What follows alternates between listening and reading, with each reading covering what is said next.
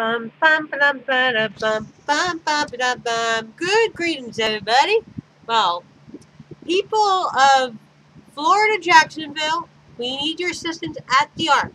At the Arc, we need a we need a bookcase for more of our books. Seems to me most of the people who live here at the Arc can read a good book. Yes, we all can read books, but we need a bookcase.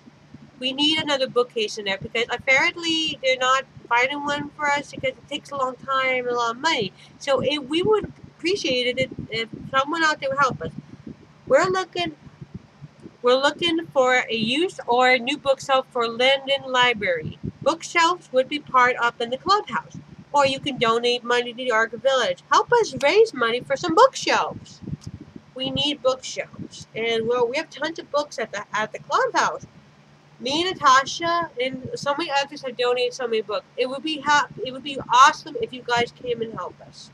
Just go, just go down to Facebook, um, Arc Village at Facebook or any other websites, and please help us donate to get a new bookcase for our library because we don't have enough bookcases. We have two, but there's not enough room.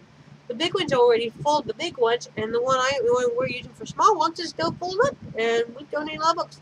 So please, out there, contact the Arc Village if you're willing to um, fundraise us and help us get a new bookcase and donate an old or new bookcase to our clubhouse. We need one. There's not a lot of room, and well, all the books fall out a lot. I have to put them up there, Natasha and I, and a few others who are loyal book fans. So those in the community who love books, please help us raise money to get a bookcase in the Arc Village Clubhouse. Adios, and I give you a D.